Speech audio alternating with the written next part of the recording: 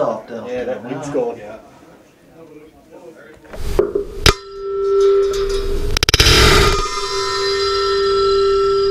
Holy cow, is it windy! Wrapping up the uh, first day of the Milk Jug Challenge with 1,200 yards.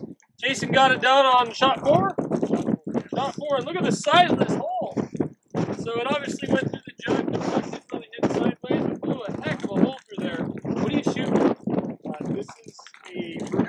1977.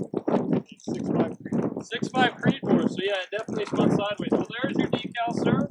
Thank I want to say thank you to Phone Skope. They sponsored our event today, second year in a row they've done that. They got you a $75 gift card to get yourself your own Phone Skope. So all the long-range footage was uh, built through the SDR80 spotting scope Swarovski that they gave us uh, last year, year before, and then through the Phone Skope using an iPhone. So now you can go out and create your own videos. Uh, so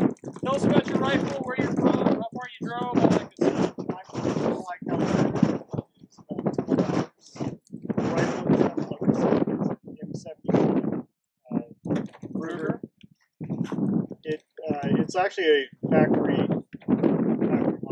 The only thing I had to do was flip barrel. Off the barrel, okay. And it's an SWFA scope. 3 to 15? 3 to 15, I Love those scopes. which is pretty indestructible. Yeah? How have you liked the scope so far? Uh, this we went through. I personally went through vortexes, all their high dollar vortexes, and ended up with this one. They're great, aren't they? Yeah, they're killers. They're about five, six hundred bucks, and uh, absolutely phenomenal. Yeah, So great scopes. actually two ninety nine if you get. Uh, Yeah, if you get the mixed ones, they are a little cheaper. That's true. That, that three to fifteen is awesome. That's what I use on my SPR. So they're great. Awesome. Well, thanks for coming out, man. Thank you. Congratulations. Well done.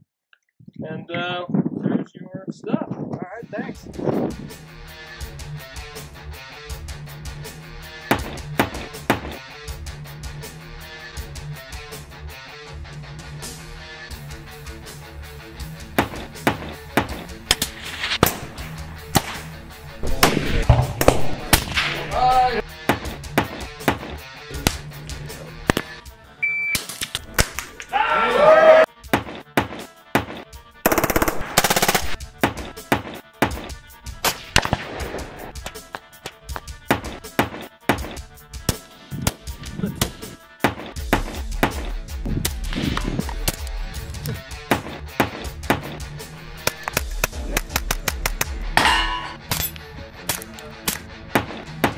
Dead Air Armament.